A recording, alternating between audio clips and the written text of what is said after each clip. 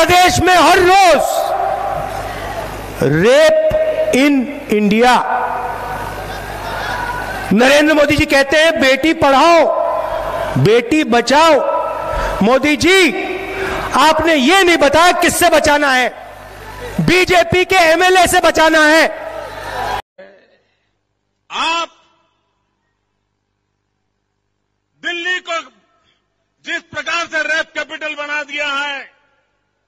और उसके कारण पूरी दुनिया में हिंदुस्तान की बेइज्जती हो रही है।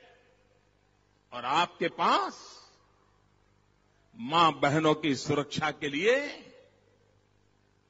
न कोई योजना है, न आप में कोई दम है, न आप इसके लिए कुछ कर सकते हैं। इतना ही नहीं।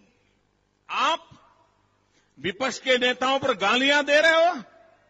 झूठे आरोप लगा रहे हो?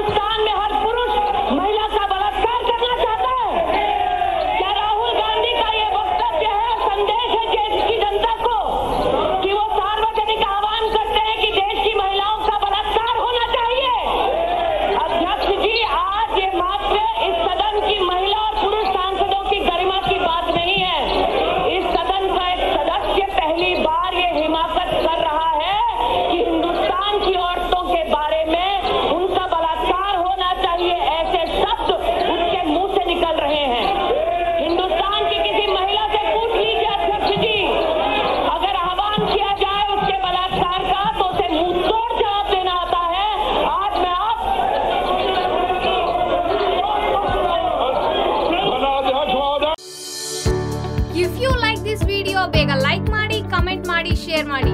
ಹಾಗೂ ಅಲೋ ಟಿವಿ ಕನ್ನಡವನ್ನು ಸಬ್ಸ್ಕ್ರೈಬ್ ಮಾಡಿ.